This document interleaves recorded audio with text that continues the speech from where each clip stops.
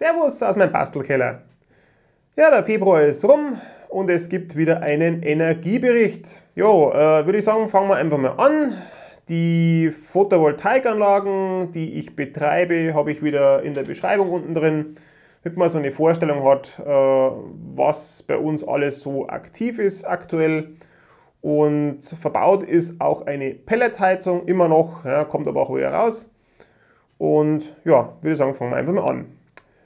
Einen PV-Ertrag haben wir gehabt im Februar von 595 Kilowattstunden, was jetzt gar nicht eigentlich so schlecht war. Das war ein ziemlich guter Februar, wie ich finde. Und einen Gesamtverbrauch von 528 Kilowattstunden. Ja, aus dem Netz 84 bezogen. Das ist einmal wegen Regelung geschuldet und einmal, weil die ersten zwei, drei Tage vom Februar der Akku noch ziemlich leer war. Ja, da ging einfach noch nicht so viel. Aber so ab dem 4. Februar war es dann eigentlich komplett durchgehend äh, autark, die ganze Sache. Und so kommen wir im Februar auf eine Gesamtautarkie von 84,1%.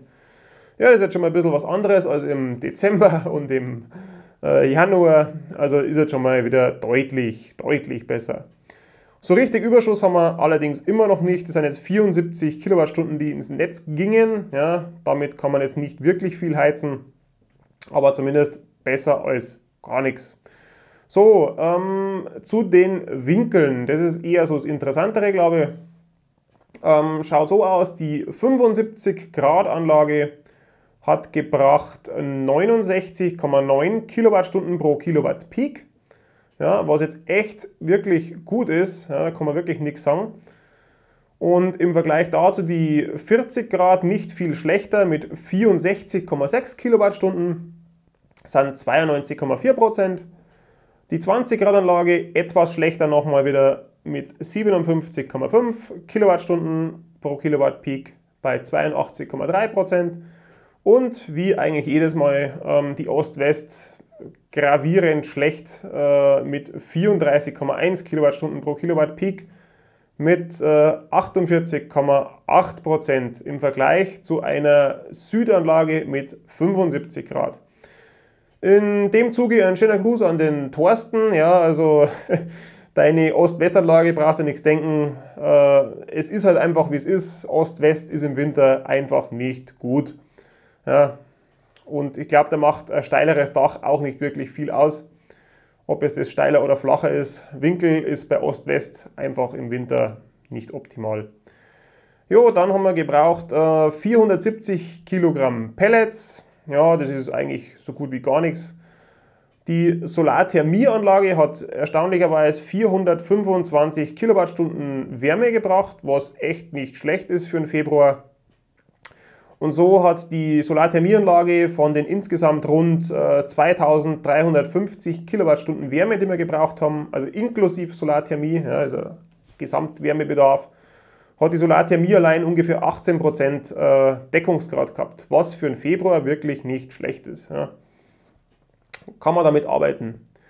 Jo, trotzdem muss man halt auch realistisch sein. Bei mir geht es ja um das Thema Platz. Ja, wer kein Platzproblem hat auf dem Dach, dem äh, würde ich auf jeden Fall immer noch eine Solarthermieanlage ans Herz legen, weil es einfach vom ganzen Aufbau her wesentlich einfacher ist als eine PV-Anlage mit Wärmepumpe und alles auch wesentlich langlebiger. Ja, ein Batteriespeicher ist schon fast Pflicht, wenn man eine äh, Wärmepumpe verbaut, weil man sonst einfach die Wärme bzw. den PV-Strom, wenn einer kommt, nicht richtig nutzen kann.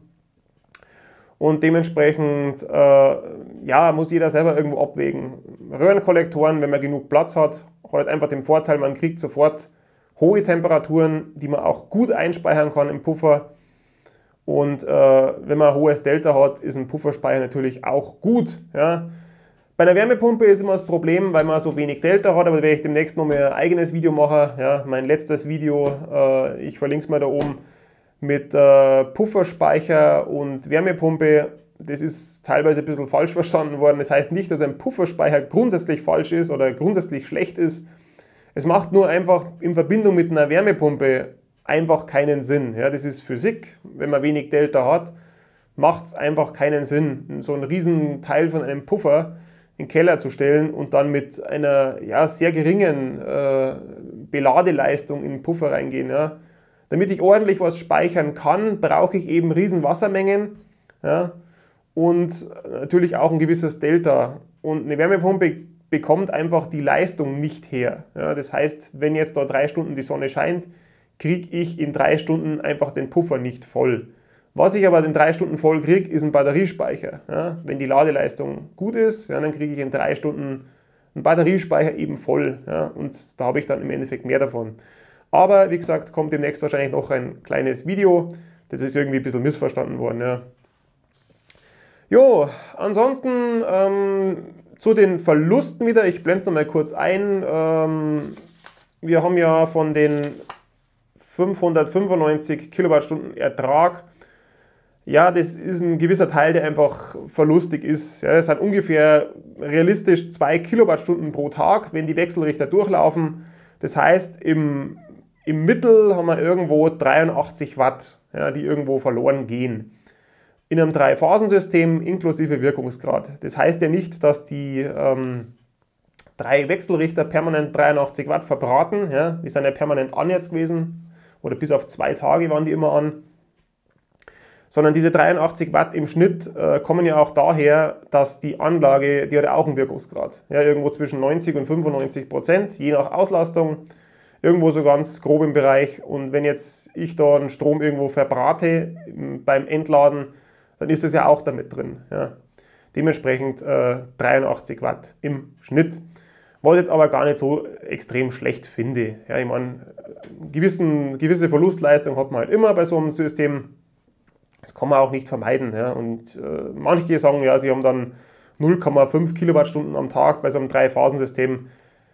Ja, äh, ich sage es jetzt ganz ehrlich, äh, aus elektronischer Sicht oder, oder aus Sicht vom Elektroniker ähm, irgendwas berechnen oder irgendwas aus einem Berechnungsprogramm, das vom Hersteller kommt, rauslesen, ist das eine, ja, real messen, wie ich es da gemacht habe, das ist ja das andere. Ja. Man, man kann viel draufschreiben und ob es dann wirklich so ist und ob das dann auch wirklich so verrechnet wird, bin ich mir nicht so sicher. Ich meine, äh, verwenden alle irgendwo ähnliche äh, Technologien für die ganzen Halbleiter und ob dann ein anderes System so viel besser sein kann, technisch, kann ich mir ehrlich gesagt auch so nicht wirklich vorstellen.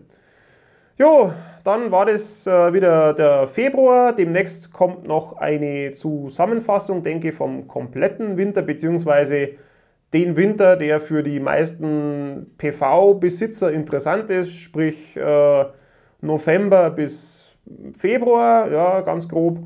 Das ist auch noch ganz interessant, was man da insgesamt an Ertrag erwarten kann und welcher Winkel in dem Bereich am besten ist. Ich denke, dass das immer noch nicht die schlechteste Idee ist, eine Photovoltaikanlage nach Möglichkeit für den Winter auszulegen, weil es halt doch gerade ja, in den Monaten, wo man halt am meisten heizen muss, schon sehr viel ausmacht. Irgendwo im Bereich 20, 30 Prozent, vielleicht auch mehr. Ja, wie gesagt, kommt demnächst noch mehr Video drüber. Und äh, gerade mit einer Wärmepumpe kann es durchaus lohnen, dass man vielleicht im Winter etwas mehr Ertrag hat, etwas mehr Eigenverbrauch hat und im Sommer vielleicht etwas weniger. Ja, wie gesagt, Wirtschaftlichkeit ist das eine. Mir geht es auch einen gewissen Teil um Umweltschutz, muss ich auch dazu sagen. Und jede Kilowattstunde, die ich im Winter mehr runterbekomme, belaste ich einfach das Netz weniger. Und auf Dauer kann diese Strategie, glaube ich, nicht so verkehrt sein. Ja. Jo, dann äh, sieht man es wieder im nächsten Video. Äh, abonnieren nicht vergessen, ja, äh, Daumen hoch und Glocke aktivieren. Bis zum nächsten Mal. Ciao, ciao!